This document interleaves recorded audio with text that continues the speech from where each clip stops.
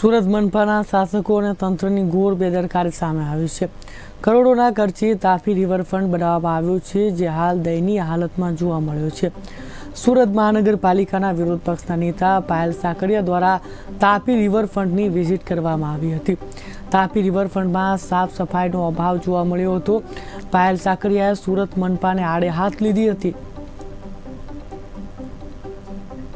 સાથી નગરસેવક અને ઉપનેતા એવા મહેશભાઈ અણગણ અને દંડકશ્રી એવા રત્નાબેન હિરપરા સાથે આજે અમે જે તાપી રિવરફ્રન્ટ બનાવવામાં આવેલું છે સુરત મહાનગરપાલિકા દ્વારા, એની આજે વિઝિટમાં હતા.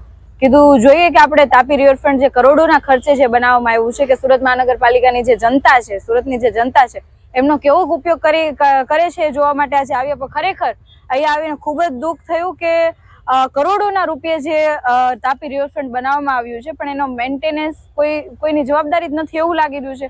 કેમ કે ઝોનમાં જ્યારે વાત કરી તો કહે છે કે ભાઈ આપણે ગયા વર્ષે ટેન્ડર પૂરું થઈ ગયું છે, આજે બે હજાર બાવીસમાં ટેન્ડર પૂરું થઈ ગયું, બે હજાર ત્રેવીસ ચાલે છે, પણ આને કોણ મેન્ટેન કરશે, કોણ સાફ સફાઈ કરશે, કોઈ જવાબદારી નક્કી નહીં હોય, આજે એવું લાગી રહ્યું છે.